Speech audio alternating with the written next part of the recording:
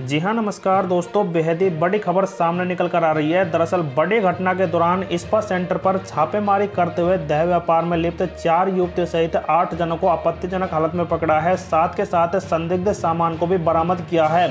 दरअसल, यह मामला राजस्थान के नागौर ज़िले के फलोदी के पास बीकानेर रोड पर स्थित लवली इस्पा सेंटर का है। इसी दौरान डीएसपी रामकरण सिंह मलिंडा ने बताया कि कई दिनों से इस पर सेंटर में दह व्यापार की सूचना मिल रही थी। कल रात सीआई राकेश के साथ एक टीम का गठन कर बोगस ग्राहक को बनाकर भेजा था, जिसके दौरान पुख्ता सबूत मिलने के बाद छापेमारी की गई। इसी दौरान इस पर सेंटर से दह व्यापार में संचालित चार युवतियों को पकड़ा गया है।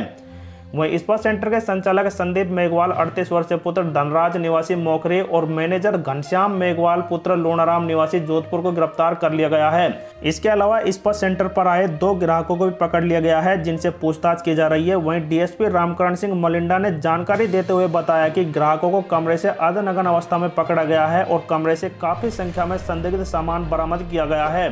सो दोस्तों, बड़ी खबर थी। वीडियो को लाइक, शेयर, कमेंट करते हुए कमेंट को अपनी राय ज़रूर दें।